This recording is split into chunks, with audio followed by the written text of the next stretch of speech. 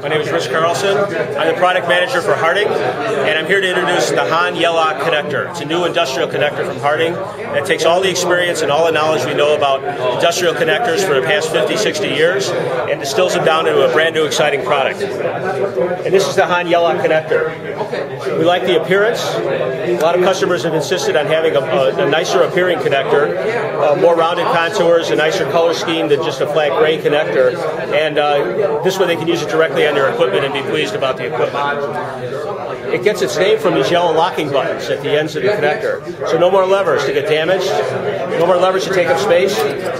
Just pull the connector halves apart by putting, depressing the levers and uh, lock, lock the two halves together very simply.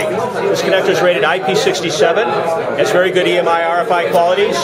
Each contact inside is rated at 20 amps per contact. It's easily coded with coding pins, 25 coding possibilities directly in the, in the housing. The housing itself has recessed modules in it, so if the connectors are ever dropped, there's no chance of damaging the, the contacts or the connectors inside. It's rated for IP67, it's perfect for any industrial application, factory automation, uh, injection molding, uh, transportation, discrete machinery, customized machinery, and a variety, of anywhere you need a robust uh, heavy-duty connector. One nice feature about this uh, connector is we're only processing a, a, single gender of male crimp pin.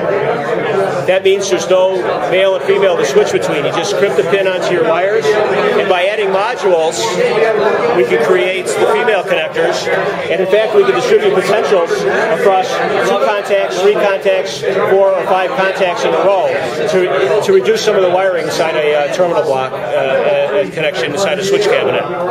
So that's a little bit about Han Yellock. We're very excited about the product, and we look forward to uh, many more years of selling this. Thank you.